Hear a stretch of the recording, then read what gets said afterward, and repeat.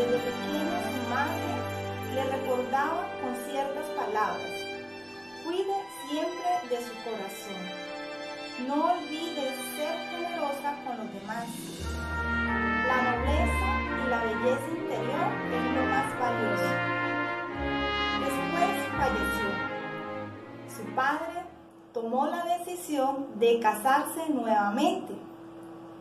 Obviamente, su madrastra con sus hijastras empezaron a hacerle la vida imposible a Cenicienta. Cada vez esta situación se le colocaba a ella más tensa. Es decir, comenzaban los insultos y los maltratos psicológicamente de la madrastra. Vaya, fregue piso. Y la pobre Cenicienta dormía casi cerca de la chimenea. Sus vestidos eran de color ceniza y al pasar del tiempo, sus burlas de su madrastra y de sus hermanastras era cada vez más, hasta que un día llegó la invitación del príncipe donde anunciaba que iba a celebrar una fiesta a nombre de escoger a su esposa. Y es allí donde la madrastra le notifica a la Cenicienta que se iba a casar el príncipe. Por ello, ella se iba a quedar haciendo oficio, que ella se encargara de hacer la cena, mientras ellas iban allá. La pobre Cenicienta no le quedó otra opción sino irse a llorar en su cuarto hasta que le apareció la hada madrina.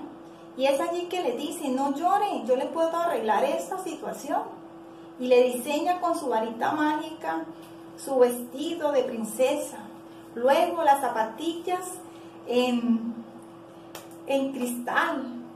Y así pasó hasta que le dijo, eso sí, tienes que regresar antes de las 12, porque si no, la calabaza que se convirtió en carroza volverá a ser otra vez calabaza.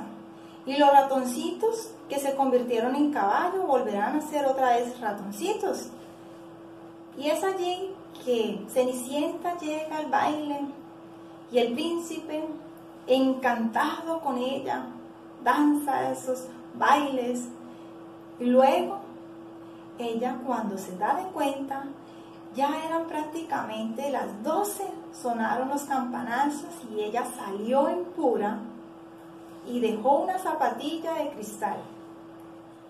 Luego, una estrategia del príncipe y del rey mandaron a buscar la dueña de esa zapatilla hasta que llegaron a la casa de la madrastra y de sus hermanastras. Se lo midieron, pero no les quedaba hasta que salió Cenicienta y a ella sí le quedó. Y esa fue la recompensa de tanto sufrimiento. Y fue muy feliz porque se casó con el príncipe. Gracias. Nos vemos en el próximo video.